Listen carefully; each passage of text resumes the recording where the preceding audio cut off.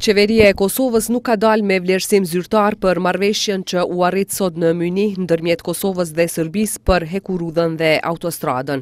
I vetmi anëtar i qeverisë që komentoi këtë marrëveshje është Ministri i Punëve të Brendshme, Agim Veliu, Roli kyç i SHBA-së në dialogun e Kosovës dhe Serbisë është i domosdoshëm. Çdo marrëveshje e arritur e cila çon në normalizim të raporteve mes dy shteteve dhe në njohje reciproke është e mirëpritur, ka shkruar Veliu. Marrëveshja për hekurudhën dhe autostradën është mbështetur nga ish-kryeministri Ramush Haradinaj.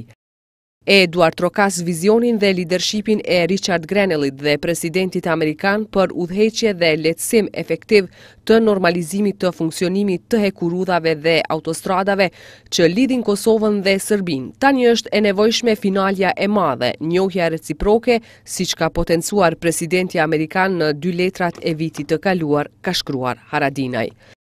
Ndërsa Ambasada Amerikane në Berlin këtë marrëveshje e ka cilësuar si historike, në profilin e ambasadës në Twitter shkruhet se Grenell e ka hapur konferencën e sigurisë së Mynihut duke nënshkruar marrëveshjen historike për hekurudhën dhe autostradën.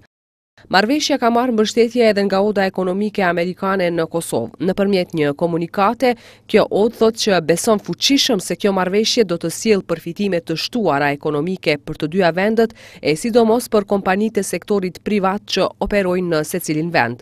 Subjekti politik që ka shprehur qëndrim skeptik për këtë marrëveshje është partia socialdemokrate. Sipas këtij subjekti politik, ashtu sikurse marrëveshja për linjën ajrore edhe kjo e sotmja u nënshkrua në terr të plotë informativ.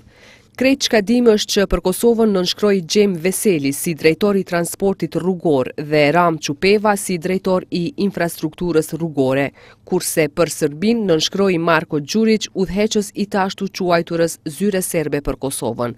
Më tej në reagim thuhet se ne nuk kemi parë tekstin e marrëveshjes, por e dimë me siguri të plotë që Secila marrëveshje që tenton të zgjidhë punë në një fushë konkrete pa u zgjidhur së pari mosmarrëveshja politike, përbën devijim nga interesat nacionale të Kosovës karshi dialogut, por edhe shtyrje e bishnim të procesit të normalizimit të marrëdhënieve mes dy popujve.